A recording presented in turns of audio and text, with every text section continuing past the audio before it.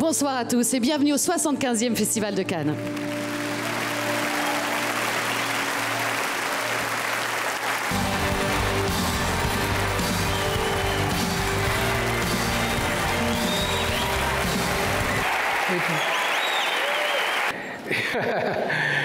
it's a great honor to be with you today um, as we gather in person to celebrate the power of cinema. The incredible artists gathered here this week are the world's torchbearers who tell the stories of mankind and our existence.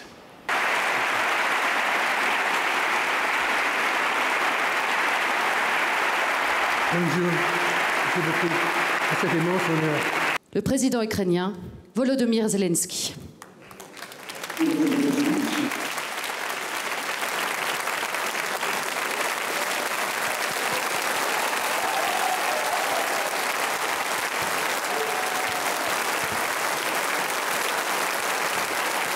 Я обсужден.